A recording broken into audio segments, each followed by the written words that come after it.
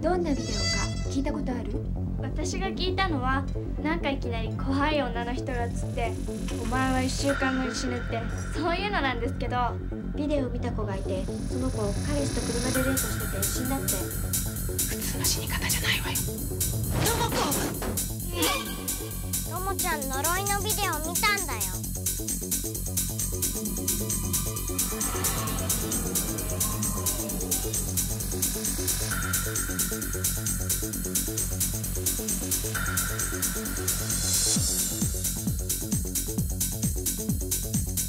のビデオは？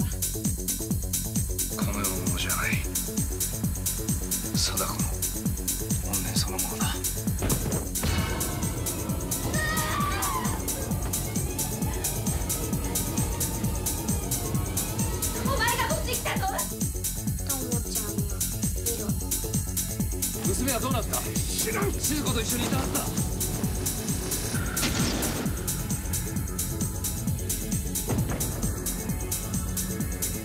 貞子の死体を見つけてやろう。それで呪いは解けるの？陽一も助かるの？死がずっと味わってきた恐怖